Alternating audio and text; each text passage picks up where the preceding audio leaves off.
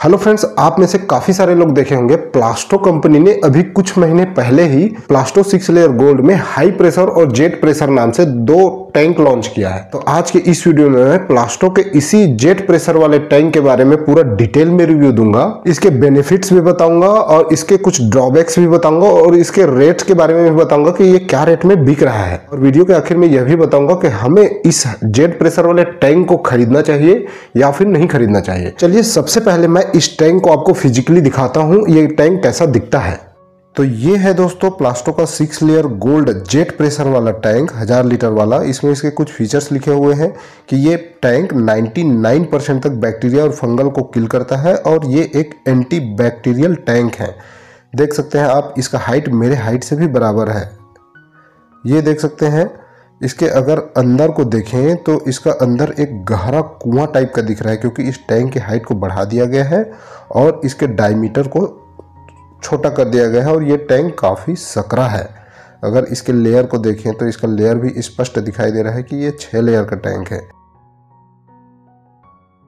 मैं इसको पूरे अच्छी तरीके से देख चुका हूँ और इसको देखने के बाद मेरे को इसको दो बेनिफिट्स ही नज़र आए हैं। इसका पहला बेनिफिट्स अगर आपके घर में फैमिली मेंबर ज़्यादा हैं और आपके घर में जो हाँ टैंक लगाना है, वहाँ आपको सकरा जगह बच रहा है। यानी एक हज़ार लीटर का टैंक लगाने का जगह नहीं बच रहा है, क्योंकि एक हज़ार लीटर का टैंक का डायमीटर बड़ा होता है, वो डेढ़ साइज़ का होता है और सकरा जगह है। तो उसमें आप 500 लीटर का टैंक लगाएँगे।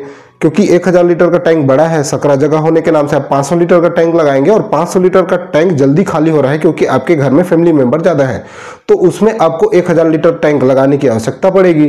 तो ये टैंक वहीं लगाया जा सकता है जहाँ सकरा जगह है और 1000 लीटर का टैंक लगाने की आवश्यकता है केवल वहीं लगाया जा सकता है।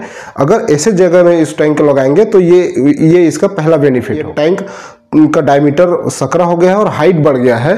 तो इसकी वजह से हाइट बढ़ने की वजह से पानी का प्रेशर थोड़ा सा बढ़ जाता है। तो आपके घर के जितने भी नल्स लगे होंगे, बाथरूम में, किचन में, कमोड्स में, जेट स्प्रे वगैरह, जो भी लगा होगा, उसमें थोड़ा सा प्रेशर ज़्यादा आएगा, ऐसा कंपनी बोल रही है। ये थोड़ा सा सही भी है, क्योंकि टैंक की हाइट ज़्यादा है और उसमें पूरा फुल पानी भरेंगे तो टैंक की हाइट ज़्यादा होने के नाम से नल में प्रेशर थोड़ा सा ज़्यादा आएगा। ये इसका दूसरा बेनिफिट हुआ कि बाथरूम्स के जितने भी नल लगे होंगे, उसमें प्रेशर ज़्यादा आ सकता है। अगर मैं रेट की बात करूँ तो इसका रेट ज़्यादा हाई भी नहीं है। इसका रेट पहले के जो टैंक आते हैं सिक्स लेयर गोल्ड टैंक उसी के बराबर रखा गया है, इसका रेट को बढ़ाया नहीं गया है। ये इसका सबसे प्लस पॉइंट है, क्योंकि पहले वाले सिक्स लेयर गोल्ड टैंक के ही रेट में आपको सिक्स लेयर गोल्ड का हाई और जेट प्रेशर वाला टैंक मिल जाएगा। इसका रेट को बराबर रखा गया है रेट बढ़ाया नहीं गया है।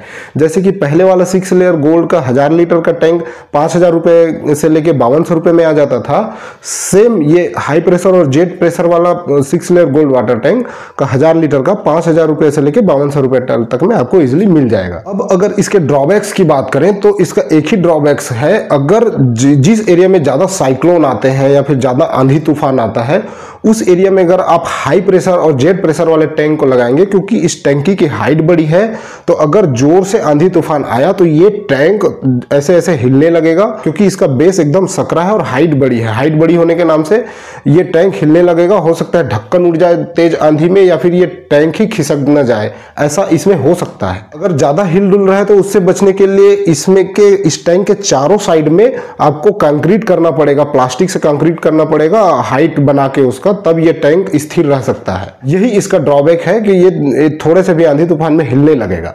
बाकी ये टैंक तो अच्छा ही है इकोनॉमिकल प्रोडक्ट है। अगर आपके घर के छत में स्पेस का दिक्कत है तो आपको इस टैंक को लगाना ही चाहिए। तो आई होप ये वीडियो आपको अच्छा लगा होगा। अगर ये वीडियो अच्छा लगे तो वीडियो को लाइक कर दीजिएगा और हमारे इस चैनल को सब्सक्राइब करके आप हमें सपोर्ट कर सकते हैं। तो चलिए मिलते हैं इसी तरह के नेक्स्ट इन्फॉर्मेटिव वीडियो में। तब तक के लिए जय हिंद फ्रेंड्स